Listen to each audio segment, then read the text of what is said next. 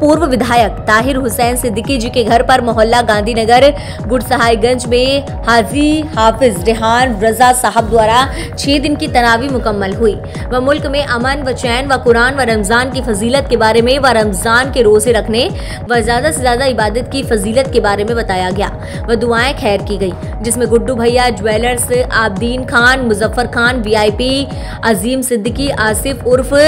मंत्री नोबान अहमद आइया साजिद खान साहिल खान, हारून, जानू, सीबू उजैर तमाम लोगों ने तरावी मुकम्मल होने के बाद दुआ में शामिल होकर मुल्क की सलामती के लिए दुआ मांगी।